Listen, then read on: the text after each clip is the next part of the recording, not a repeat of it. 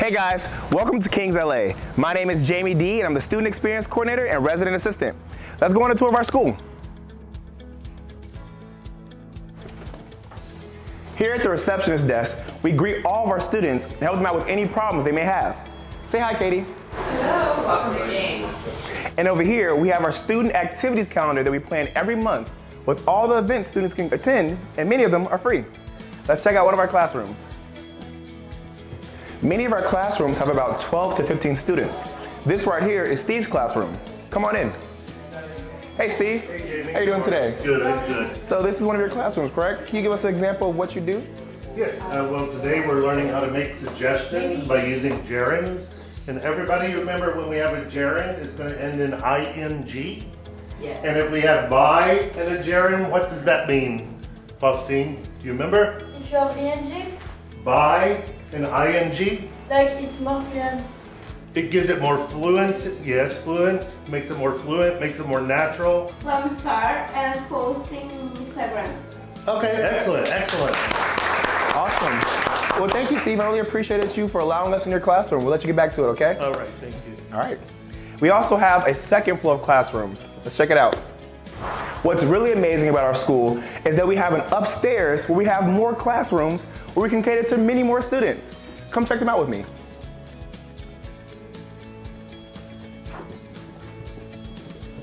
And back here, we have Jessica's class. Hey, Jessica. How are you today? I'm fine, how are you? Doing good. I see that you're writing on the board. Can you tell us what you're writing today? Yeah, we're working on adverbs and frequency. So adverbs and frequency, they speak to how often we do something. So we're using always, often, sometimes, never. Thank you for allowing us in your classroom. Really appreciate it. Of course, great to have you. Thanks. Take care. Now I'm going to show you what our student lounge looks like. Next to our first building, we actually have our student lounge, which is in our second building. It's really fun for our students and for orientation. Come on.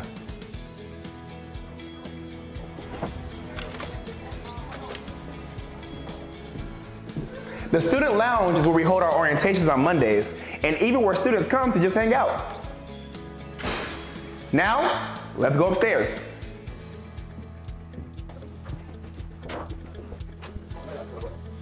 In the men's dorm, they have their own kitchen where they can cook, clean, and enjoy each other's company. What's up, guys? Good? you guys are enjoying your time? Yeah, and down the hall this way, we can show you one of the shared bedrooms they have. In here, you can see that we have two twin-sized beds. When the students come in, they get to pick which side they want, and they make it their own. Check it out. Now, this isn't the only residence hall we have for our students. We actually have an off-campus residence hall named McCadden. So now we just made it to our McCadden Residence Hall. This is our off-campus residence hall, which is only two blocks away from our main campus and just a five-minute walk for our students. Let's check out one of the suites.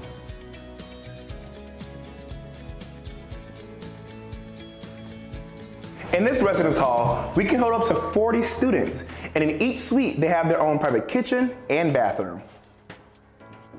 Each suite in the McCadden Residence Hall can hold up to two to three students. Hey Loda, hey Savannah, how are you all doing today? Great. Doing great. So I have a question. Who is your favorite person here at King's Education? My teacher, Steven, uh, he's so funny. What about you, Loda?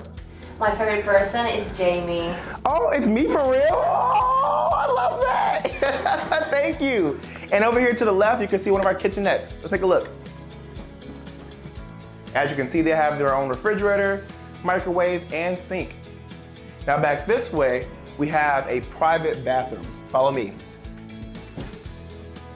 And in here, they do have their own private tub and toilet, and they can also wash their hands.